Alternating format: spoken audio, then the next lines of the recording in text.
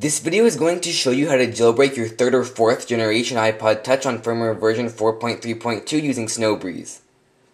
First, you need to download two files from the video description, the Snowbreeze file and the 4.3.2 firmware file for your device.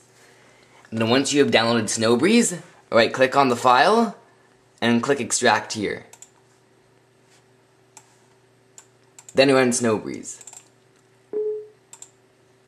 Then click next. Then browse for the 4.3.2 firmware file that was downloaded, select it and click open. Then click expert mode, click on general, and here you can enable the battery percentage, the gestures menu, install SSH, and enable the animated logo capability. Then click next. Then click build IPSW. It will take about 5 minutes to build the firmware file. Then once it's done creating the IPSW, you will see a new firmware file on your desktop. And then you can click OK.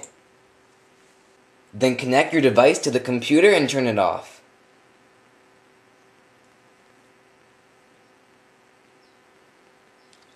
Click Start.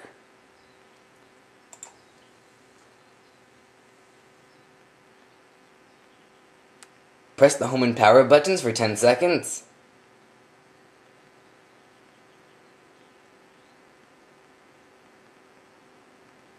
Then release the power button but keep holding down the home button.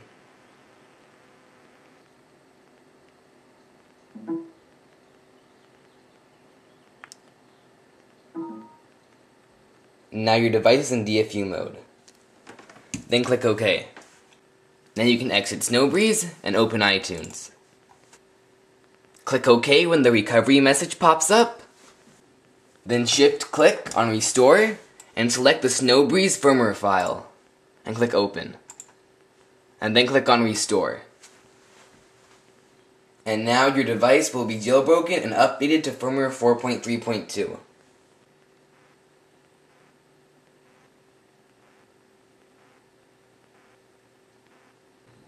iTunes is done updating the software and it's rebooting.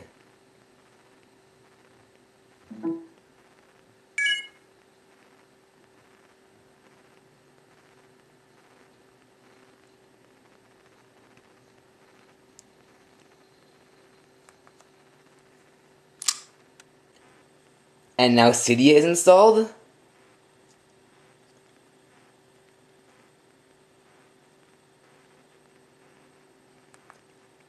and your device will be jailbroken on firmware 4.3.2.